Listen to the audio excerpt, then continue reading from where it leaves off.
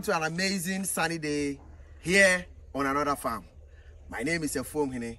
This is Afuom TV, where we discuss anything agribusiness from animal farming to crop farming, any kind of animal, any kind of crop. Please click on the notification bell so that anytime we load a video, you'll be first to watch and to pick up a thing or two from it. Today, we are at uh, Tomifa.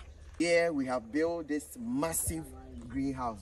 This is a 60 by 160 feet greenhouse. So we are talking about uh, 9,600 square feet, or if you like, 2,900 square meter.